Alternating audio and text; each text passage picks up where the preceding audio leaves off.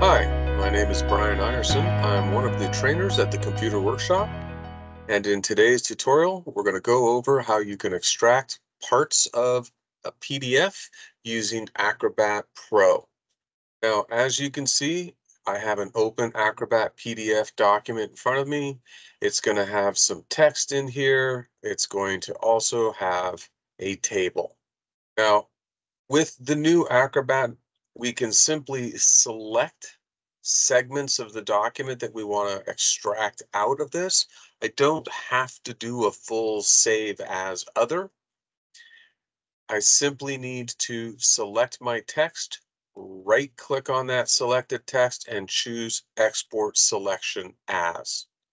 When this opens, I am going to be prompted to save this as a new document. Clicking the Save As dropdown allows us to go ahead and set the type of document that we would like this to be, be it Word, PowerPoint, Excel.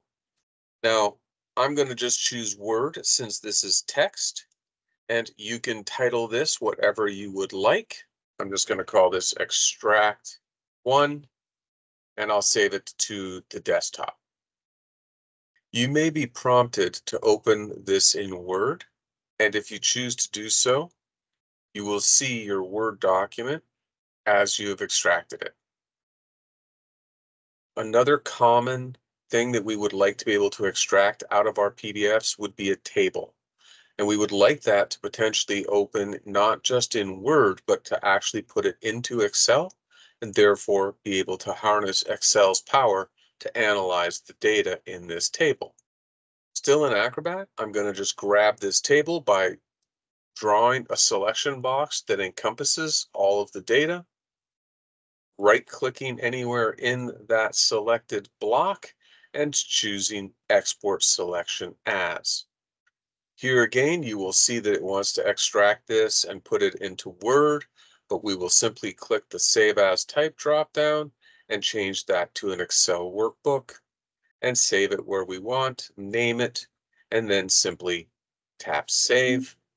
Just as when we were opening up the Word document, just as when we were extracting the Word content, just as we were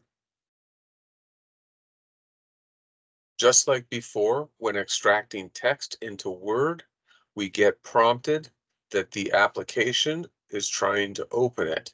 So in other words, here I'm being notified that the system wants to open this using Excel. Do I want to continue? I will simply tap yes. And in a moment's time, you will see that that data is now in Excel and you can start to utilize it in any way that you need. And that finishes today's tutorial. I hope that you enjoyed this and found it useful. If you did, Please don't forget to subscribe to our channel. You can also follow us on our social media platforms. You can find us also online at www.tcworkshop.com. And there you can find out about courses that we have that are coming up and any other information that you'd like to know about the Computer Workshop. Well, that's it for now. So until next time, take care.